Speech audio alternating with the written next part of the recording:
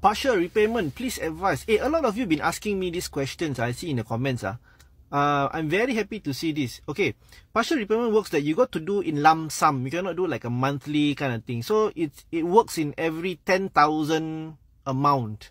So you save until the end of the year with all your bonus and everything, you get your 10,000, you can do a lump sum. Write in via CPF website or if you're using HDB, both lah. You need to inform both parties, HDB and CPF.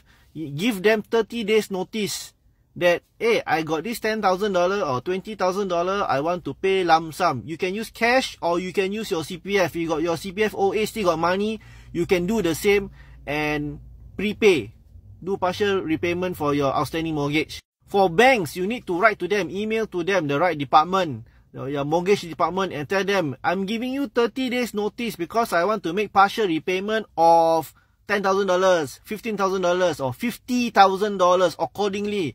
Give them 30 days notice and then you initiate your CPF at the same time or you transfer the cash to them after the 30 days. They will not be happy with you because they cannot suck out the interest from you. But you will be happy because you'll be paying lesser and lesser interest every time.